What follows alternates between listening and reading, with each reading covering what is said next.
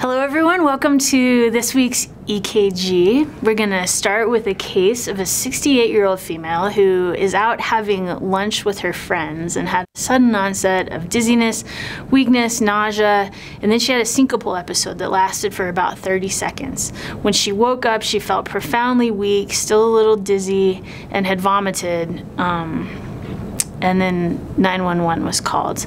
So you arrive at the restaurant, you meet her, she's awake and talking to you. These are the vital signs that you get. She's got a heart rate of 80, reassuring. Blood pressure of 103 over 68, okay. Oxygen's 95, blood sugar, very important in this case, normal at 109. So not too much to go off of, but anytime we have a patient with syncope, we gotta wonder if it could potentially be cardiac in origin, so we get our 12 lead. Here's what our 12 lead looks like. I'll give you a second to look at it, see what you think, and come up with your own diagnosis, and then we'll go through it together. Okay, so just like same way every time, we're gonna start with the rate here. I'm gonna let the computer do the work. I see a rate of 79 is what the computer's saying. I'm gonna confer with my eyes. And here's where I see something just standing out, catching my attention, these big abnormal waves here. We're gonna talk about those a little bit later. But in general, um, let's find our one that lines up with a nice big thick red line here and we'll count down since we're doing our rate. So we've got 300, 150, 100, 70, and then 60. So we're somewhere between 60, 70 for our next P wave. 70 is about right. Um, I would agree with the computer here uh, with a rate of 79. Next, we're looking for our rhythm. Two questions we ask here. Is there a P wave before every QRS and is it regular or irregular?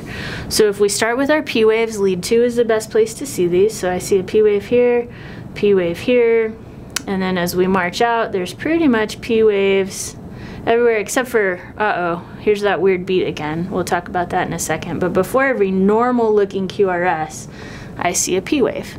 So we will say this is generally sinus rhythm, but I can't call it regular because it has these odd looking waves in between the regular ones. And so we'll call this irregular it's a sinus rhythm, and the name for these big waves here that look abnormal is PVCs, preventricular contractions.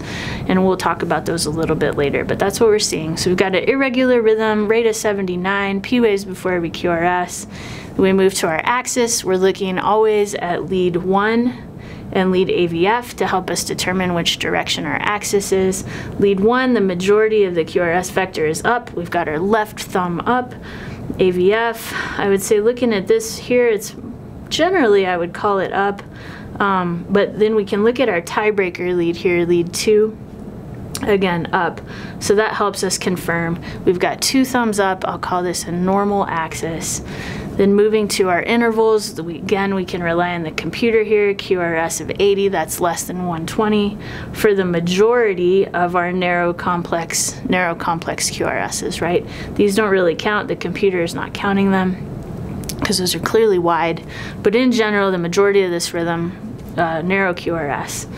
Then we're looking at our QTC 401, that's less than 450, uh, where we start to be concerned. 500 is when we're really concerned about uh, maybe uh, spontaneous arrhythmias, and especially in this case, our QTC is going to be very important when you see PVCs. We want to make sure that this is normal.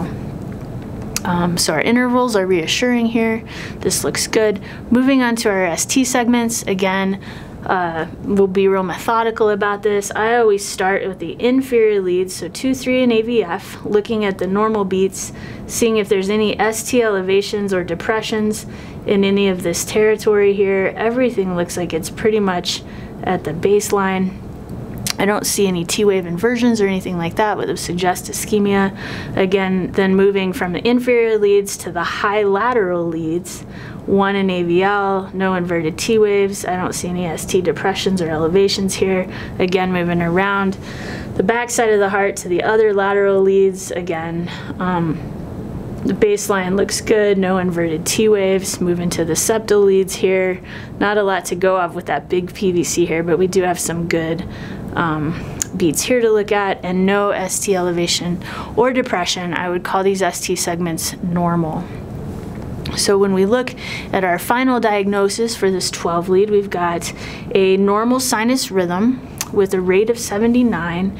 Our axis is normal, our intervals are normal, and there's no ischemic changes, but we do note that there's frequent PVCs. So what exactly is a PVC?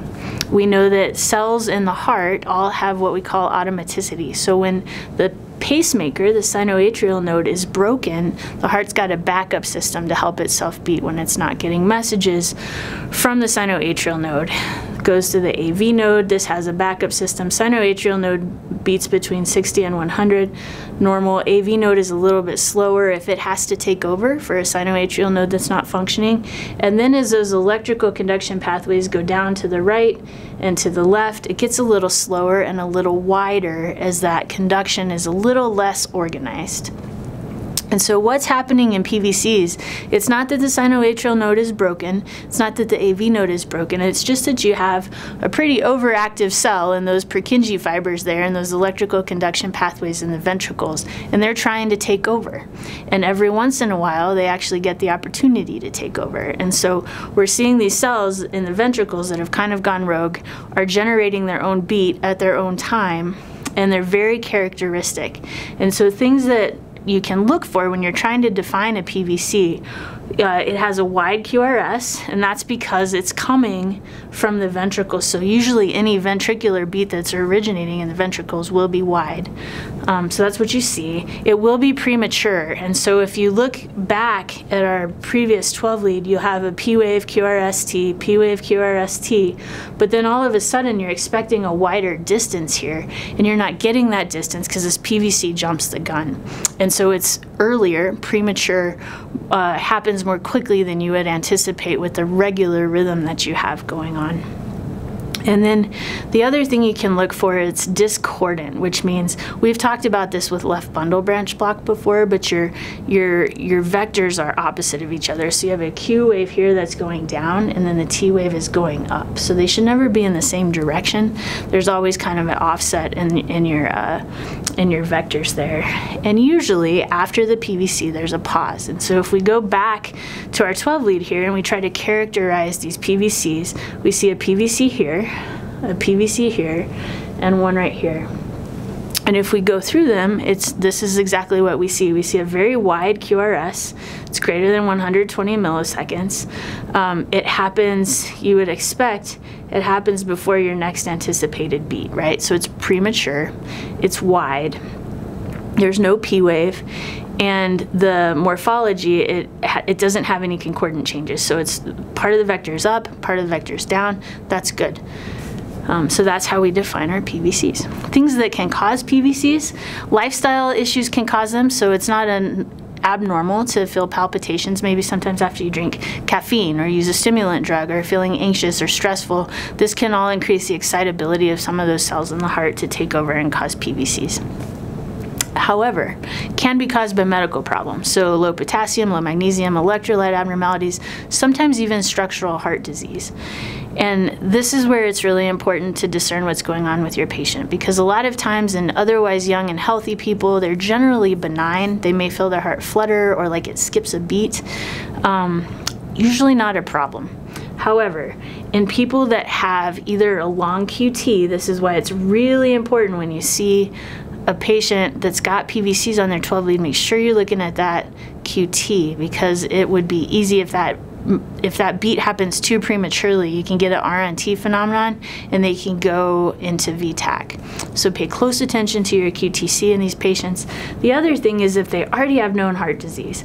So if I've got a patient that's elderly, has had a heart attack before, smoker, high blood pressure, high cholesterol, diabetes, all of those things, and now they're having a bunch of PVCs, we know that that indicates they may have increased mortality from their cardiac disease.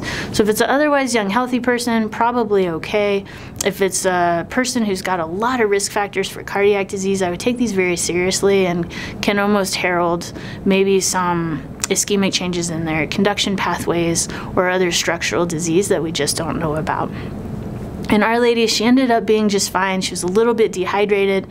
Her electrolytes were normal. She got to the hospital. They gave her some fluid. She felt better and ended up being okay. And uh, that is all for today. Thank you for joining us for PVCs, and I'll see you next week when we talk about something else.